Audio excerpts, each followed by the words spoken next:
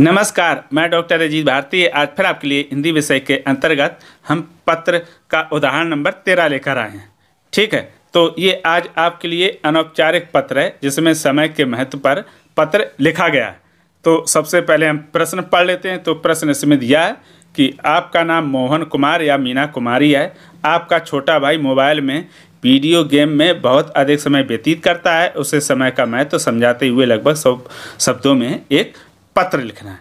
ठीक? तो सबसे पहले क्या करोगे? प्रश्न को पहले ठीक से पढ़ लो और इसमें से तीन बातें निकाल लो। कौन कौन सी?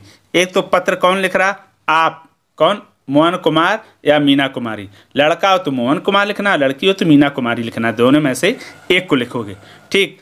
और पत्र लिखना किसको है? तो किसको लिखना? अपने छोटे भाई को लिखना है। और विषय क्या है? इसका विषय है, वीडियो गेम में अधिक समय व्यतीत करता है, यानी समय का महत्व। ये तीन चीज़ें हो गई। एक तो ये पत्र कौन लिख रहा? आप। किसको? छोटे भाई को। और विषय क्या? है समय का महत्व। बस ये तीन चीज़ें आपने निकाल ली। तो आप चुटकियों में क्या करोगे? पत्र आसानी से एक मिनट में लिख लोगे। एक मिनट मतलब लिखने में जो समय लगेगा, बाकी आपको कठिनाई बिल्कुल नहीं आएगी। अब हम लिखना शुरू करते हैं उत्तर। तो उत्तर हमने ऐसे हेडिंग डाली। उत्तर डाल दिया। फिर लिख दिया, समय का महत्व बताते हुए छोटे भाई को पत्र। अब उत्तर में चाहे ऐसे लिख दो, या फिर सिर्फ़ पत्र लेखन लिख सकते हो, या फिर उसके जगह पर लिख सकते छोटे भाई को पत्र, या फिर ऐसे लिख सकते समय के महत्व पर पत्र, यानी ऐसे चार विषय मैंने बताए, कोई भी उत्तर लिख सकते हो। अब उत्तर लिखने के बाद लिखेंगे सबसे पहले पता तो यहाँ पता किसका होता? है अपना, स्वयं का पता, जो पत्र लिख रहा है, उसका पता यहाँ लिखते हैं। तो लिख दिया जैसे एक सौ चौंतीस, दरियागंज, नई दिल्ली तो ये हमने पता लिख दिया, ठीक? अब उसके ठीक नीचे हम लिखेंगे दिनांक। दिनांक लिख दी सोलह दस दो हज़ार और दो एक्स बना दिए दो एक्स इसलिए बना दिए कि अगर हम नोटबुक में जब पत्र लिखते हैं या किसी परीक्षा में लिखते हैं तो हमेशा दिनांक छिपा लेते हैं। तो एक्स छिपाने से क्या होगा? वर्ष छिप जाता है। तो इस तरह से पहले पता, फिर दिनांक और फिर लिखेंगे नीचे प्रिय भाई। ठीक? क्योंकि भाई को लिख रहे हो। चाहे बहन हो, चाहे भाई हो, अगर छोटे भाई के लिखोगे तो लिखोगे, प्रिय भाई और कौमा लगा देते हैं, इस तरह से ये लगा। फिर इसने और इसने के बाद विस्मयाद बोझक चिन्ह। इसने मतलब का अर्थ होता है प्रेम। इसके पश्चात फिर हम लिखेंगे इसमें अब मेन पत्र। तो मेन पत्र में सबसे पहले लिखेंगे कि मैं यहाँ पर कुशल हूँ, आशा करता हूँ कि तुम भी स्वस्थ और खुश होगे। ठीक, ये लाइनें क्या कर लो? अनौपचारिक पत्र के लिए रट लो। कि मैं यहाँ पर खुश हूँ, आशा करता हूँ कि तुम भी स्वस्थ और खुश होगे। या तो ऐसा रट लो, या फिर मैं यहाँ पर कुशल हूँ, आशा करता हूँ तुम भी कुशल होगे। या फिर ऐसा लिख लो, मैं यहाँ पर खुश हूँ, आशा करता हूँ आप भी खुश होंगे। या फिर ऐसा लिख लो, मैं यहाँ पर स्वस्थ हूँ, आप भी आशा करता हूँ आप भी स्वस्थ होंगे। इनमें से कोई एक लिख लो। ठीक, अब उसके बाद फिर मुख्य समाचार लिखेंगे। मुझे यह जानकर दुख हुआ कि तुम अपना बहुत समय वीडियो गेम खेलने में बिता रहे हो। वीडियो गेम खेलना कभी कभी ठीक है, लेकिन यह ध्यान रखना ज़रूरी है कि तुम्हारा कीमती समय पढ़ाई खेल कूद और नए कौशलों, कौशल सीखने में व्यतीत हो। समय बहुत महत्वपूर्ण और एक बार चला गया तो वापस नहीं आता।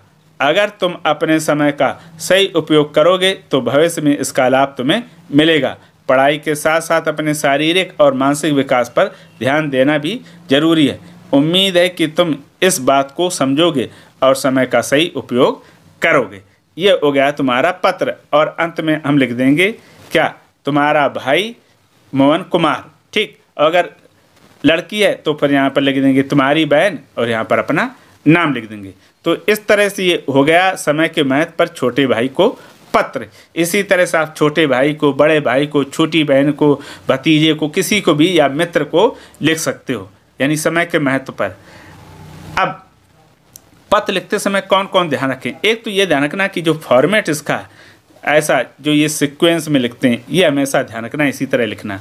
दूसरा क्या करना है कि आप जब भी पत्र लिखें, उसमें हमेशा ऐसे शब्दों या वाक्यों का प्रयोग करें जो आप शुद्ध और सही लिख पाते हो। जो आपको डिफ़िकल्ट या कठिन लगते हैं, उनका प्रयोग बिल्कुल ना करें। ध्यान रखना, क्योंकि अशुद्ध लिखने पर नंबर कट जाते हैं। ये हो गया। और जो अंतिम जब भी आप लिखेंगे पत्र फॉर्मेट उसका पत्र का सही लिखें, कभी गड़बड़ बिल्कुल ना करें। और सरल भाषा का प्रयोग करें। अगर इस तरह से आप साफ़ स्वच्छ और शुद्ध, सुंदर राइटिंग में अगर पत्र लिखते हैं तो निश्चित तौर में आपको पूर्व में पूरे अंक देने से कोई नहीं रोक सकता है।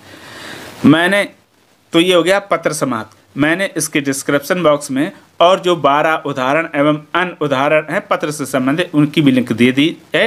डिस्क्रिप्शन बॉक्स में जाइए, वहाँ क्लिक करिए और अलग अलग विषयों पर पत्र को आप सुने, देखें, समझें।